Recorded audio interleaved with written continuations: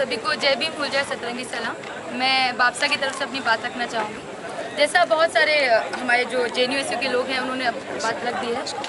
मैं बात रखना चाहूँगी कि कैसा हम एक देख रहे हैं, जिस, जब से बीजेपी सरकार में आया है कब से निरंतर हर एक माजले कम्युनिटी पे और उस तबके पे अटैक किया जाए। चाहे वो कश्मीर में हो, चाहे जितना भी यूनिवर्सिटीज़ हो, चाहे बी हो एच हो, चाहे अब जादवपुर हो, जितनी भी यूनिवर्सिटीज़ हैं जिन पे स्टूडेंट्स पे अटैक किया जाए तो हम देख रहे हैं कि ये पढ़ाई पर अटैक है। ये हमारी उस उस अधिकार पर अटैक है जिससे हम बोलना सीख रहे हैं, जिससे हम प्रोटेस्ट करना सीख रहे हैं। जब हम अभी तक इतिहास देखते हैं मनुष्य के बारे में पढ़ते हैं तो हमको पता चलता है कैसे इन लोगों ने कितने लोगों से अत्याचार किया और कैसे दो हज़ार, ढाई हज़ार साल से जो लड़ाई चलती आ रही है, कैसे हमारे लोगों ने उनको तब भी रसीज किया था, हम आज भी रसीज करेंगे।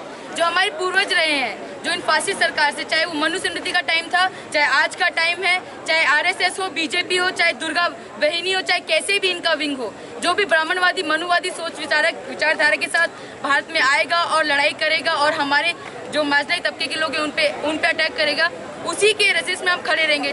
पूरी स्टूडेंट यूनिटी सारे लोग जो माइनॉरिटी से आते हैं, सारे वो लोग जो ऑपरेशन सहे हैं सारे वो जो लोग जो ऑपरेज रहे हैं, वो यूनिटी का नारा जब हम देते हैं, वो ऑपरेज लोग हैं जो अपनी आवाज़ उठा रहे हैं। और जब जब एबीपी जैसे गुंडागर्दी के जो लोग हैं, ये जब यहाँ पे यूनिवर्सिटीज़ में आते हैं, पढ़ाई लिखाई नहीं करते हैं, पढ़ाई लिखाई ना करने के बाद गुंडागर्दी करते हैं, लोगों को मारते हैं स्टूडेंट्स को मारते हैं तो मैं इनको कहना चाहूँगी कि इनकी सरकार गौशाला खोल रही है, इनकी ज़रूरत यूनिवर्सिटी में नहीं, गौशाला में है। सारे एबीपी को गौशाला में चले जाना चाहिए, क्योंकि यूनिवर्सिटी में पढ़ाई की जाती है डिबेट किया जाता है डिसेंट किया जाता है। यहाँ पे आपको भारत माता की जय नहीं सिखाया जाता है। हम जब जय भीम का नारा लगाते वो नारा है उन सभी अत्याचारों के लिए और वो नारा तब से शुरू हुआ था जब से ये संविधान बना है।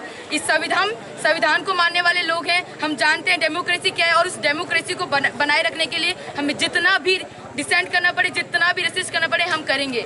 और ये लार्जर यूनिटी की बात जैसे और लोगों ने बोला है, हमें बहुत ज़रूरत है समझने की कि ब्राह्मणवादी सोच के लोग क्या करना चाहते हैं। ये एक हिंदू राष्ट्र बनाना चाहते हैं, जिस हिंदू राष्ट्र में ना ही माइनॉरिटीज हैं, जिस हिंदू राष्ट्र में ना ही महिलाएँ हैं, जिस हिंदू राष्ट्र में ना ही कश्मीरीज हैं, ना ही कोई भी ऑपरेस कम्युनिटी का इंसान है, ना ही कोई सेक्सुअल कम्युनिटी का इंसान, को सेक्सुअल माइनॉरिटीज का जो इंसान है। तो मैं इतना कहना चाहूँगी कि जितनी ब्राह्मणवादी मनुवादी सोच के जो लोग हैं, जो अटैक करते आ रहे हमारे लोगों को मारे जा रहे हैं तो हमको इनके लिए पुरजोर जवाब देना पड़ेगा खड़े रहना पड़ेगा। तब तक जब तक इन लोगों को समझ ना आ जाए कि हमारी यूनिटी इनकी जो गुंडागर्दी उसके सामने कुछ भी नहीं है।